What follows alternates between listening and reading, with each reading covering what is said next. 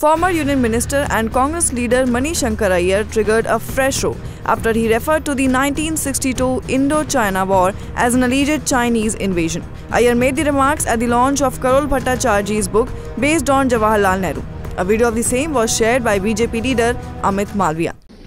In October 1962, the Chinese allegedly invaded India. In October 1962, the Chinese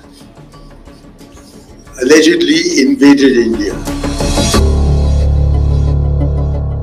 Notably, the 1962 Indo-China War, also known as the Sino-Indian War, was a significant conflict between the People's Republic of China and the Republic of India that took place from October to November 1962. Chinese troops launched an attack across the McMahon Line and captured the Aksai Chin region, which belongs to India.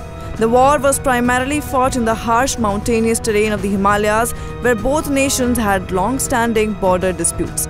Following Aiyar's remarks, the BJP criticized the Congress and demanded a clarification for its love for the Chinese. Moreover, amid the controversy, Congress distanced itself from the senior leader's remarks. However, later in a brief statement, Aiyar apologized for mistakenly using the term alleged. But this is not the first time that Aiyar made such remarks that stirred controversies. Earlier in May, Aiyar quoted controversy after an interview clip of his went viral wherein he could be heard saying that Pakistan is a quote-unquote respected nation that also possesses an atom bomb so India must enter into a dialogue with them. He added that there have been no efforts from India to reach out to Pakistan in the last 10 years.